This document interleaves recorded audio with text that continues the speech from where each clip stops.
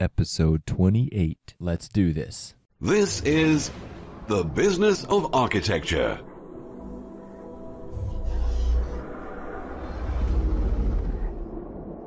Helping architects conquer the world. And here's your host, Enoch Sears. This is your host, Enoch Sears, and today we're continuing our conversation with architect David Doucette, who's telling us about the run he had with Design Build a few years ago for three years and the difficulties of being a sole practitioner doing design and also doing build. So, in this episode, we delve a little bit more into the, the mistakes he made when he was doing that and the lessons he learned about how to pull it off successfully. So, some of the things we're going to discuss in this episode are number one, how to be competitive when some contractors, not all, are engaging in shady practices that make it more difficult to compete. Also, how to weed out the bad or the less than the less than optimal, shall we say, subcontractors to make sure that your jobs get done right. And there's a funny little story about some brown stuff on the ceiling. So you'll have to wait to hear that. So without further ado, here's our show. Hey, Agile Architects. This is Enoch from Business of Architecture. Welcome back. Today we're going to continue our conversation with David Doucette. He's the founder of architectexamprep.com and cseprep.com. In addition to that, he runs an architecture firm, Reside Architecture, and we've been talking to him about his the wild heyday of his design build practice. So, David, welcome back to the show. Thanks for having me back. I'm I'm glad that I was uh, that you were able to invite me back. But the content was so good that you said, David, we got to hear more. Absolutely. Now we're going to get into the juicy stuff, right? Exactly. Well, it already was pretty juicy. And, you know, it's interesting, but in our pre-interview, David, we definitely talked about how your experience in the design build industry was one of those um, aha moments where, you know, going into it, you had thought, okay, you know, that's, there's money there. I'm leaving money on the table. The contractors make all the money. I'm going to get a piece of that. But then when you experienced it, there was just so many things that you hadn't expected or that didn't turn out the way you wanted. And so you're here basically to warn all the architects that are going down that path about what they can do differently. That's exactly it. I mean, there was there was so many uh, unexpected uh, things that came up, and and things that realistically, uh, you know, we just can't anticipate. And that's part of when we launch our own business. Uh, there's a lot of unknowns, and and that fear is what keeps many of us from launching our own business uh, businesses. So um, there were, you know, I thought of a hundred reasons of why I couldn't, I shouldn't do this design build, but I was like, well, I'm going to do it because I'm going to do it, and that's what I did. And then you kind of learn on the job, which is what I did, and you adjust, and and you know, you you you kind of refine, um, you you refine your goals as you you know you move forward. And that's definitely what you did during that three that three year period is sort of learn and go with the process. Last in our last episode, you mentioned that you gave us an example of a project you did, a LEED Silver project in West Hollywood, and you sort of took us through the pro- process of how the profit you thought you were going to make on that just started sort of disappearing as the costs mounted up and unexpected things happened.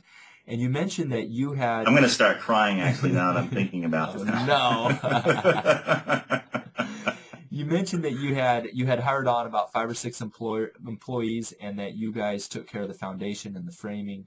And I was I was wondering, you know, that to me it would seem like there'd be even additional profit in the project if you guys did that because you'd be keeping the profit from the subcontractors.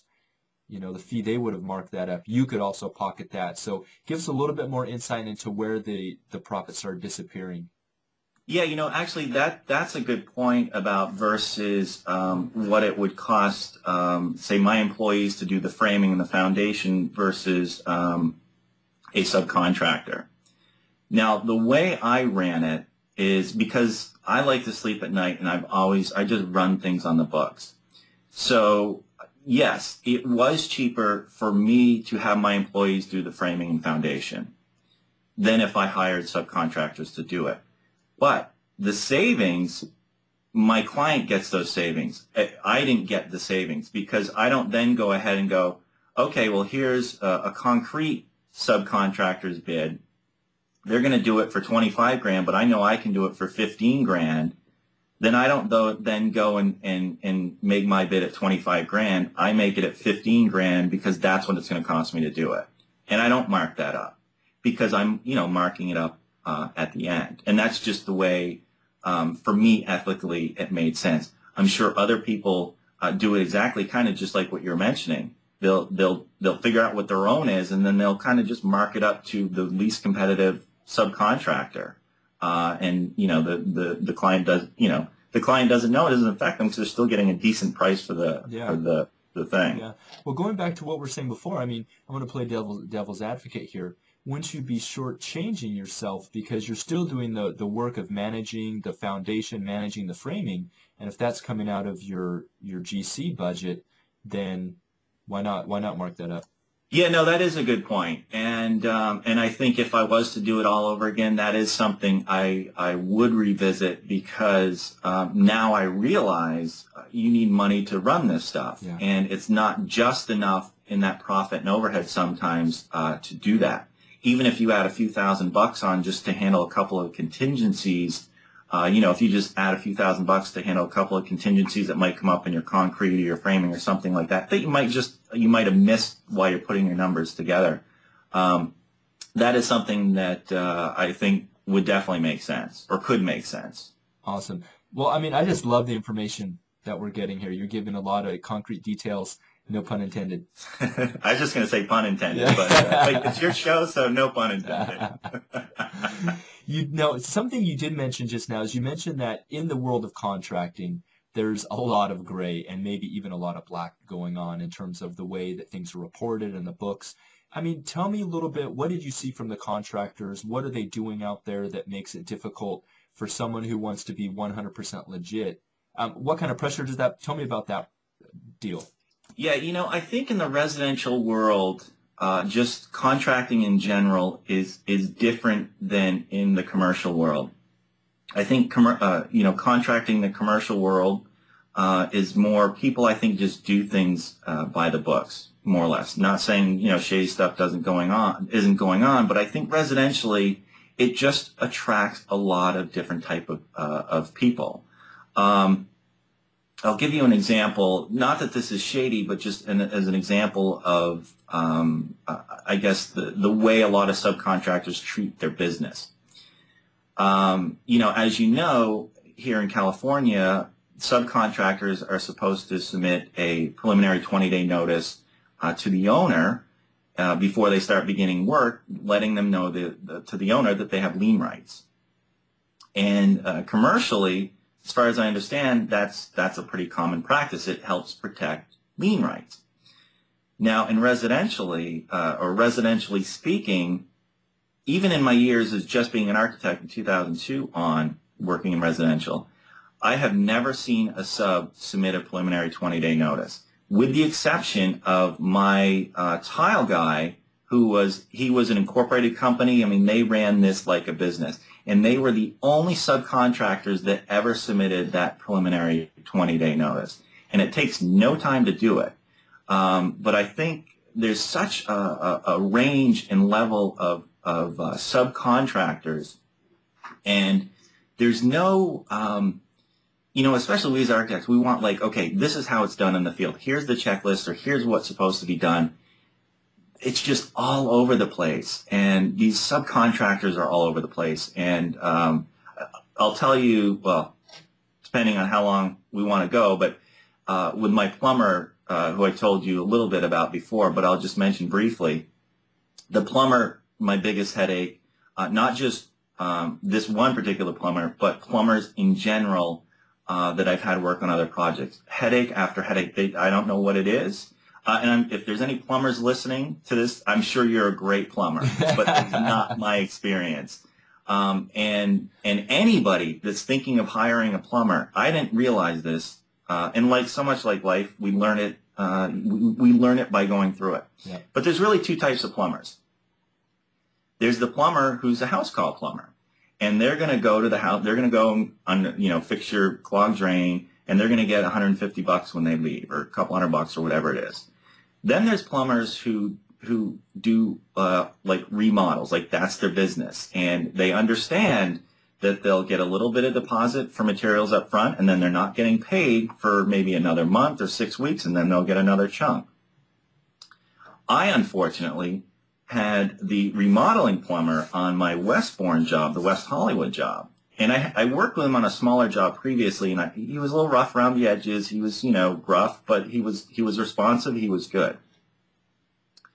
However, on this West Hollywood job, getting near the end, you know, even in the middle, he would he he was supposed to show up to do stuff on the job site. Turns out he wouldn't show up because he got a call for somebody's leaky toilet, and he could actually go make 200 bucks to put in his hand that day versus coming to my job where he knows he's not going to get paid for maybe another month. Which one are you going to go to? He's going to go to where he's getting the cash.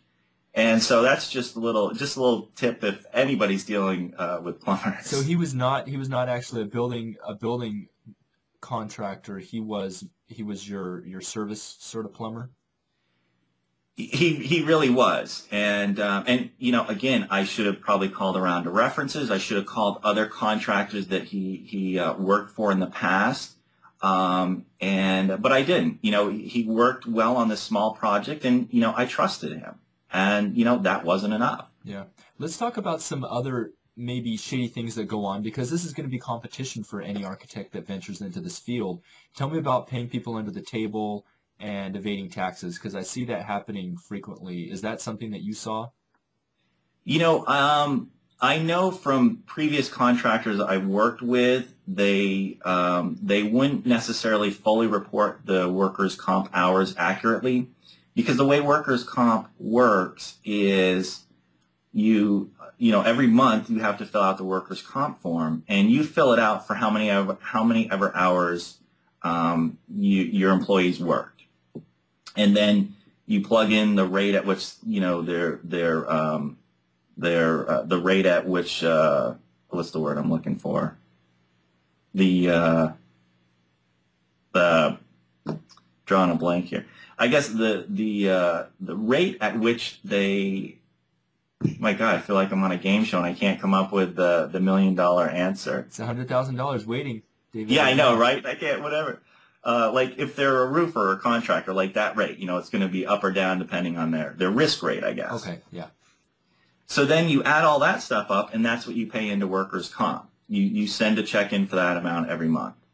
Now nobody's checking this as you're doing this, um, so you could easily cheat. I mean, you could easily not report all the hours that, that somebody worked on your workers' comp because that's going to give you less of a payment to pay into workers' comp.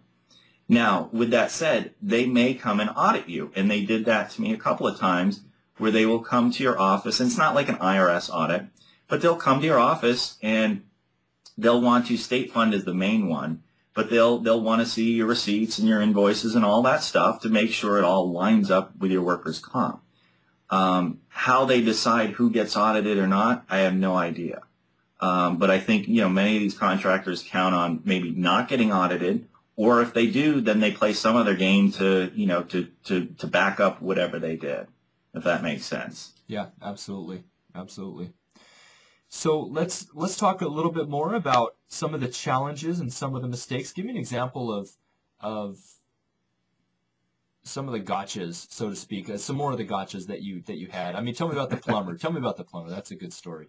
Yeah, you know the, the, the this plumber that that I was telling you about. Let's just his first name's Dennis. Um, he he did so many things wrong on, on this West Hollywood job. He undersized the the gas um, underneath. We re we replumbed. He undersized the gas, and we didn't catch this till later. Um, and the problems of his showing up. But the biggest problem with him was the project is done. They move in at least $100,000 worth of furniture. Everything is done.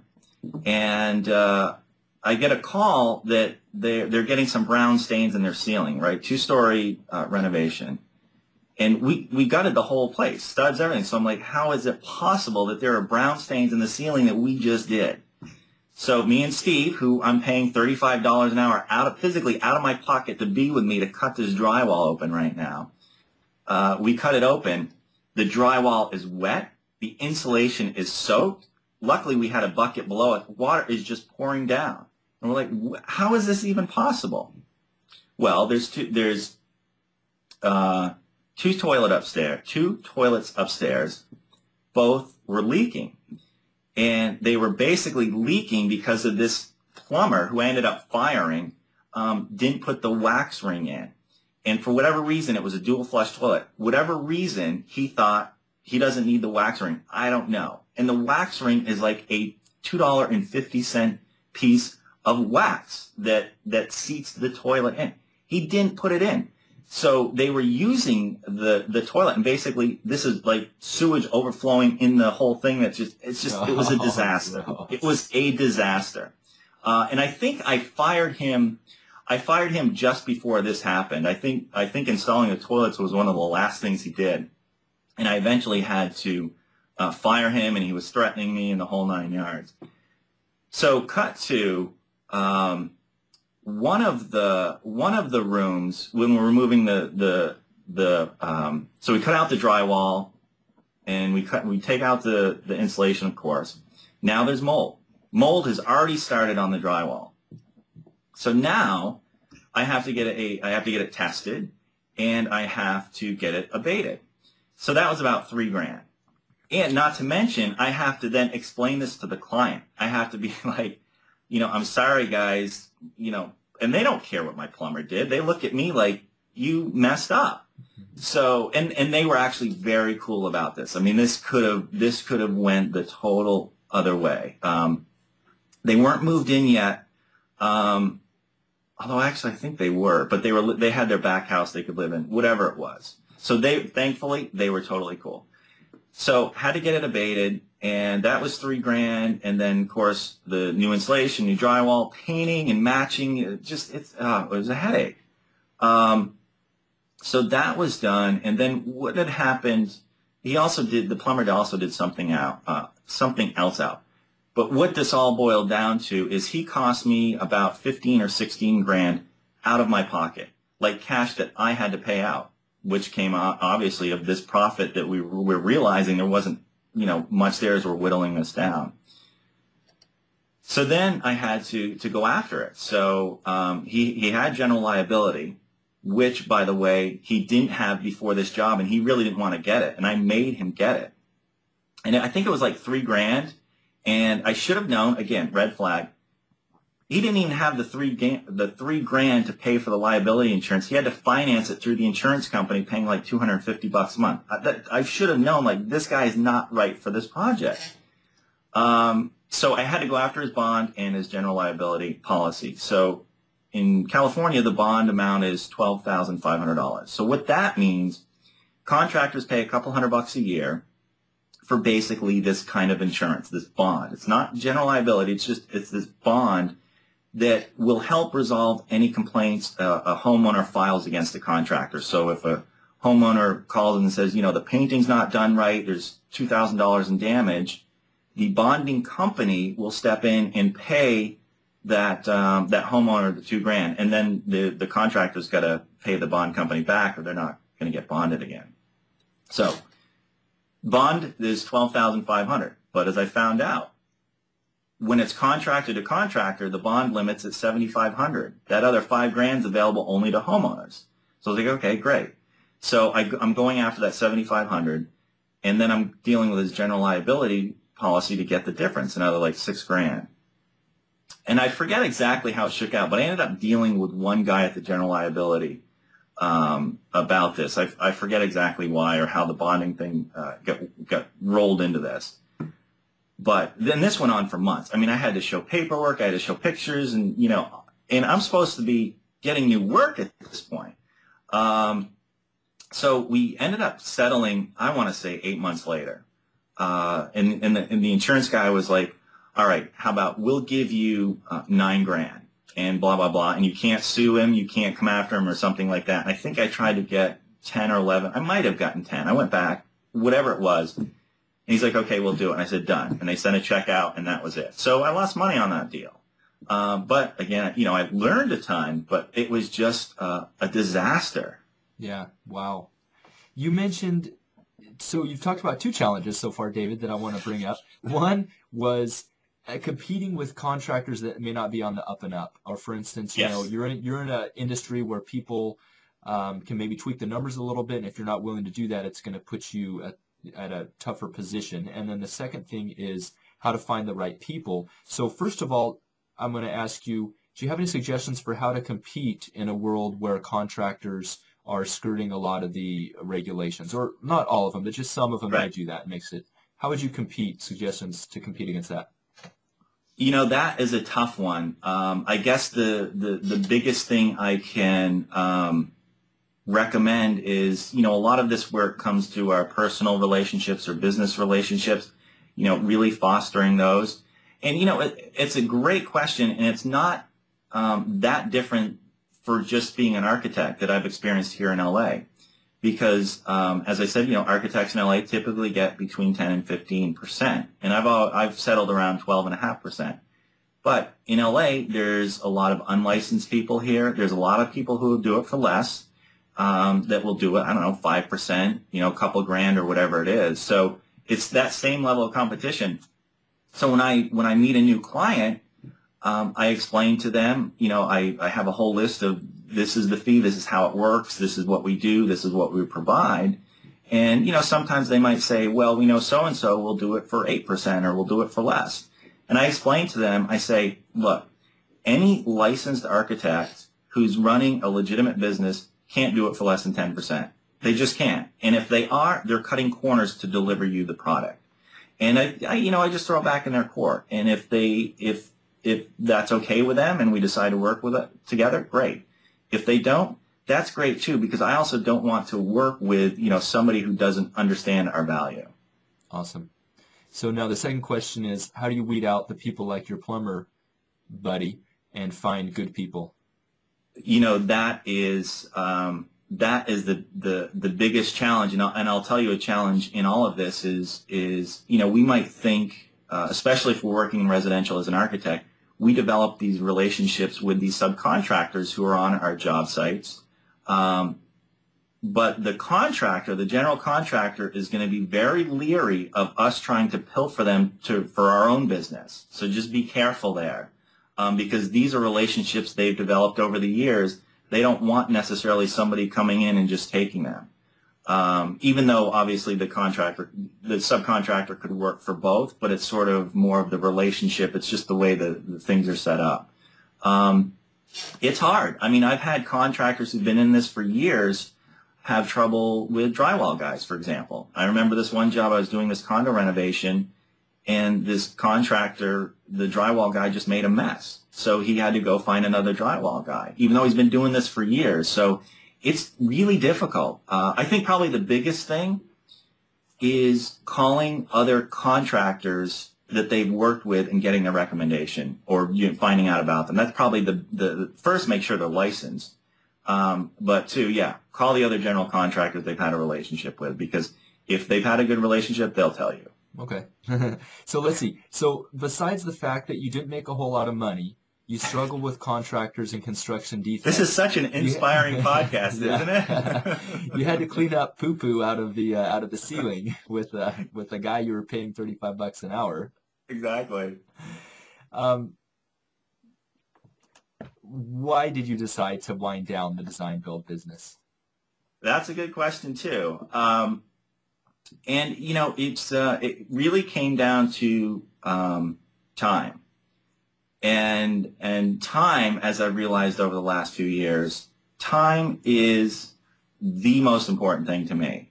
And you know, frankly, it's the most important thing any of us have because our time is limited. That we know. How limited, we don't know. Um, but you know, this I was spending 60, 70 hours a week, and this was all I was doing. Um, I wasn't rock climbing, I wasn't backpacking, I wasn't hiking, I wasn't doing anything. I wasn't going on vacation. All I was doing was this design build business. That was it. It was all consuming. So I was spending a lot of time doing it. Again, I enjoyed it, but um, but you know, it was funny for if anybody is uh, a Breaking Bad fan. Are you a Breaking Bad fan, by the way? I'm not. Oh. Sorry. Ah, man, you got to watch it. Uh, but there, but there's this scene at the end, uh, maybe a little bit of a spoiler, but where Walt, the main character, uh, is talking to his his um, ex-wife, and um, you know, all through Breaking Bad, Walt has been saying, you know, I, I, I turned into this, you know, meth dealer because I want to, I'm going to die of cancer and I want to make money for my family. Like I want to leave money for my family. So throughout the whole series, his reason for doing this was to provide for his family. And at the end of the, the, the season, or the end of the, the series, uh, he's, he's with his ex-wife one more time. And he starts saying, you know, Skyler, the reason I did this, and she goes, Walt, I don't want to hear any more about how you did it for the family. And he says, the reason I did this is I did it for me. And it felt good, and I liked doing it, and I was good at it. And she didn't say anything to that. And it was the first time that he kind of came clean and admitted that he did it for him, you know? Um, so I can identify uh, with that. Not the whole meth building uh, side of things, but in the sense that um, I was in this uh, this three year design build, what I really call a fog. I mean, my my life was a fog then, and I always told um, you know my my wife then that I'm doing this for the family. Like, you know, I can't there's nothing else I can do here. I'm doing this for the family. You know, the, it was the same conversation over and over again, which I was. I mean, I was trying to provide for the family. I was the one who was working. We had two young boys uh, at the time, so I was. But in that moment, I forgot. I basically forgot the my the results of my actions to my family, and that that's really what happened. Not unlike Walt and Breaking Bad. So what had happened is we went through, you know, the marriage went on the rocks and, and I tried everything to save it, but by that time it was too late and we went through a, a very amicable divorce um, a couple years ago. But it's not that the design build business sort of killed our marriage, but I'll, I'll say it's a big part of it um, because she was home alone with the boys. I was working all the time. We'd have dinner together. I get back on the computer and I do more work. So I was not uh, available to her or my boys like at all. Um, and so that's where it comes back to time. And as a result of our dissolved marriage, uh, we, you know, we have an agreement. We each have the, the boys 50% of the time. So, which I love. So I, I couldn't, I couldn't have a job where I work more than 40 hours a week now anyway.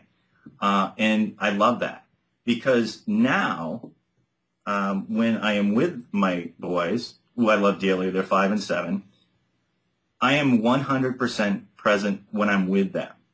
I'm not thinking about work. I'm not thinking about, you know, the ceiling I got to replace. So it's pretty incredible in that respect. And I, I did not balance work life at all during the design build. I, I just didn't have a system in place to do it. And um, so it's it's bittersweet that the design business or the design build business sort of I chose to to wind it down. Um, but given everything that was happening at the time, it was it was the right decision. And and speaking of time, um, the the thing that I realized most about kids and you know from my boys, you know, other than wanting Legos and Ninjago stuff and you know other stuff they want us to buy them, but really all they want is our time all they want is our attention. And, you know, Jake or Remy, so often they'll be like, can you just watch us draw? Or can you watch us do the homework? Or can you watch us build this? Like, that is all they want. So I didn't get any of that for the three years I did design build. I was just completely clueless. Uh, and somewhere around 2010, a couple, you know, two or three years ago, going through this marriage breaking down, design build not working out the way I wanted, somehow I just saw the light and my, it just became clear to me. My priorities became clear. Uh, and again, it just all came back to time is the most important thing. Wow. Well, you know, this, this show definitely is about the business of architecture and how to run a successful business. But I think that's an awesome way to end the interview is just remembering at the end of the day, the reason we want to run a good business is because we want to have dinner with our friends, with our family, with our kids.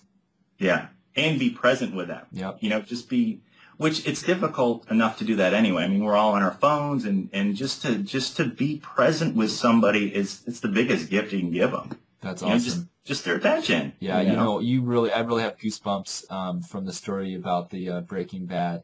Made me definitely reflect on my time with my own kids. So and thanks for that.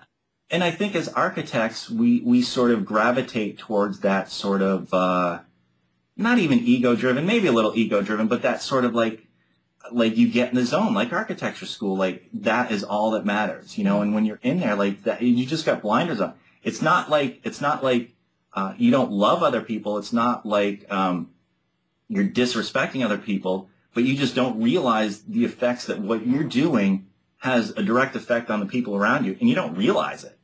You know, it's crazy. Absolutely. David, just to end up here, would you ever do Yeah. design build again?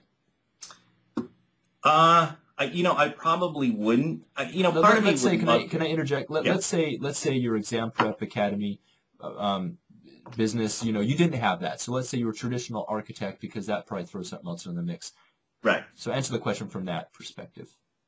Um, if I had to, um, you know, if let's say uh, architect exam prep, CSE prep goes away, um, you know, and the, the residential work I do is not not making enough, then I probably would do the design build again. And I'm glad you phrased it that way because I enjoyed it, uh, and I'm a lot smarter uh, this time around. So I would be better at it, and I would know the systems and stuff to create um, you know, ahead of time. With that said, because I'm with my boys a lot, it would I would have to definitely strike uh, that time balance, which is just time management, uh, which I could surely do. Um, but you know, I think like anything running a business, the better we plan it, the the the better we visualize it, the the the the better chances we have of success. And I didn't do any of those things. I just jumped in, and and you know, and that's kind of what happens when you jump in, because it's fun. I mean, uh, yeah, because it's it's cool. I mean, it's cool to be the designer and to see you're responsible for it building too. I mean, it's cool, and I like the collaborative process. I mean, I had a lot of good experience with subs. I had some great subs, and you learn a lot from them. So it's it's fun. Awesome. Well, David, it's been an information-packed interview. Thanks for being on the show. Oh, you forgot to ask me my quotes. Well, I didn't know if you had them ready. Give me your quotes. Of course, I have quotes. Well, let's finish up with the quotes. All right. There's there's uh, there's three quotes, but I'll I'll give you two. The the first one is one that I've just always liked, and it's from Henry Ford, and it says, "Whether you think you can or you think you can't, you're right." So that one is cool. It's just the the mental mindset. Let's pause on Uh, that for a second. Let's tell me yeah. what that means to you. It means it's all in our head. It's all the stories we create in our head. So he's saying, you know, if you think you can do it, then you can do it. If you think you can't do it, then you can't do it. So it's that, that internal dialogue that we have with ourselves. And I just, for whatever reason, have um, always been optimistic. Um, yeah, I have fears like everybody else, uh, but I try not to let the fears overtake, you know, what I really want to do. Uh, and some of us are just more prone to that, you know, than others. Um, the second one is is not maybe so poetic, but uh, it's from Eminem, and uh, I'm a big fan, and I know his lyrics and all that stuff. But um, but it's the one that when it gets down to the grind, it's the one that you, when you're in it, whether you know I'm training for a marathon or I'm running the marathon, or just like when things just are tough um, this is the one that comes to mind. So it uh, it is success is my only mother effing option. Failure's not. And I mean that that's it. Uh, and and it's it's from his song "Lose Yourself," and it just it gets me every time. And and many times I've been training on marathon runs, and and I need to put that one on because you just failure's not an option. Wow. Wow. Do you have a good business book that you've read lately that you can recommend to the audience? You know, I do. I have two books. Um, of course, the biography of Steve Jobs by uh, Walter Isaacson. Fantastic book, and and I'll say I'm not. I've become maybe an Apple fanboy the last few years, but certainly while he was alive doing his thing, I didn't really pay attention. I wish I had. Um, and I listened to it on Audible, actually. Dylan Baker narrates it. it. It's a thick book, and it took a while to get through it. But, but if you're an audio person, definitely check it out because it was fantastic. Uh, and then the second one is Onward uh, by Howard Schultz, How Starbucks Fought for Its Life Without Losing Its Soul. Fantastic business book because what Howard Schultz did, who created uh, Starbucks, he, he basically I can't remember the exact years now, sometimes maybe in the late 90s, he stepped back. He stayed on board, but he stepped back as CEO, as CEO and Starbucks lost its luster. And they were just building them everywhere, and they just were not running it properly. And he stepped back in, and he he he he he made it successful again. I think when he stepped back in, let's say the stock was way down at like maybe 10 bucks a share, and now it's up to like 76 a share. I mean, he really single-handedly turned it around. So in that book, Onward, he shares a lot of that, and it's it's fascinating because first off, he writes like he's a human being and not like some CEO. So there's there's ways he he wrote things to employees. There's things that he did that are very relatable. So uh, if anybody's looking for some like straight business inspiration, that's a fantastic book. Awesome, awesome. Thanks for the suggestion, David. And I want to let all of our listeners know that if they go to businessofarchitecture.com forward slash book, they can get an Audible free audiobook download as part of their initial trial. So you oh, mentioned cool. that you can get that on audio, and that's just one way that they can they can get those audiobooks. If they're already producing uh, listening to podcasts, probably audiobooks are right in the line. So that's businessofarchitecture.com forward slash book. Oh, that's a, that's that would be very cool. Yeah, get the get the Walter Isaacson uh, Steve Jobs one for sure. Awesome, awesome. Well, David, it's been great having you on the show. Enoch, it was uh, it was a real pleasure. Uh, hopefully, I didn't uh, crush too many spirits with uh, with the reality. I guess I should say the reality of my design build experience. You know, somebody else could have a, a completely uh, different experience, but it's it's a great business model. Thank you for sharing. All right. Thanks, Enoch. I will uh, talk to you soon. All right. You bet. Bye-bye. Bye. And that's a wrap for another show about the business of architecture. To get more resources about how you as an architect can raise your fees, land the projects you love to work on, and get the time in your day back, join the members only Business of Architecture Insider List for free by going to businessofarchitecture.com forward slash free. Enter your best email address there, and I will send you instant access to free resources, including my book, Social Media for Architects. If you'd like to discuss a thought or insight from today's show, visit businessofarchitecture.com slash podcast. On that page, you'll also find my notes from today's show and the action items I took away from our conversation. Until next week, keep rocking and go conquer the world.